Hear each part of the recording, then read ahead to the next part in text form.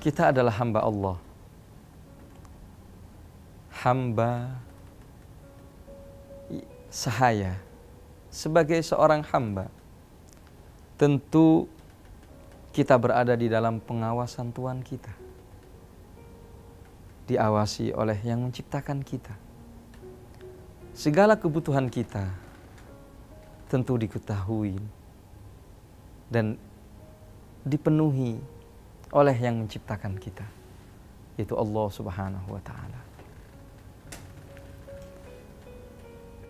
Kita menemukan di dalam sebuah hadis Rasulullah sallallahu alaihi wasallam mengatakan ad-du'a hiyal ibadah. Doa itu adalah ibadah. Dalam hadis lain Rasulullah mengatakan ad-du'a mukhul ibadah. Doa itu adalah otaknya ibadah. Artinya intisari daripada ibadah.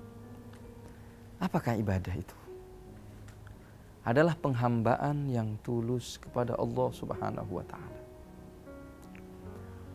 Ketika kita dianjurkan untuk meminta, berdoa, maka harus dibedakan antara meminta dan berdoa. Karena meminta adalah kata lain daripada menyuruh. Secara tidak langsung, kita meminta kepada Allah itu kan berarti menyuruh kepada Allah. Apakah menyuruh itu layak bagi seorang hamba kepada tuannya? Tentu tidak. Akan tetapi di sini dikatakan bahwasannya dengan kita berdoa itu kita beribadah.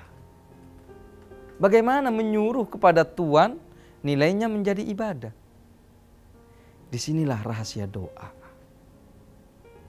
Ternyata di dalam doa mengandung nilai-nilai ubudiyah. Ketika kita menampakkan kebutuhan kita kepada zat yang maha agung, Allah subhanahu wa ta'ala, dengan rintihan dan keluh kesah kita kepadanya, itu menunjukkan kehambaan kita, kelemahan kita, kebutuhan kita kepada Allah subhanahu wa ta'ala. Makanya sebagai bentuk bahwa doa itu adalah ibadah, Allah Subhanahu wa taala mengatakan, "Idza sa'alaka ibadi anni fa inni qarib ujibu da'watad da'i idza da'ani." Bila mana hambaku bertanya tentangku, maka katakan saya ini adalah dekat. Aku dekat kata Allah. Ujibu da'watad da'i. Saya akan mengabulkan, akan merespon setiap doa yang dipanjatkan oleh orang-orang yang berdoa. Namun etika orang-orang yang berdoa harus betul-betul tahqiqul ubudiyah. Harus betul-betul merasakan bahwa dirinya adalah lemah. Pada hakikatnya Allah Subhanahu wa taala telah mengetahui segala kebutuhan kita. Apa yang kita minta tanpa kita ucapkan Allah telah tahu.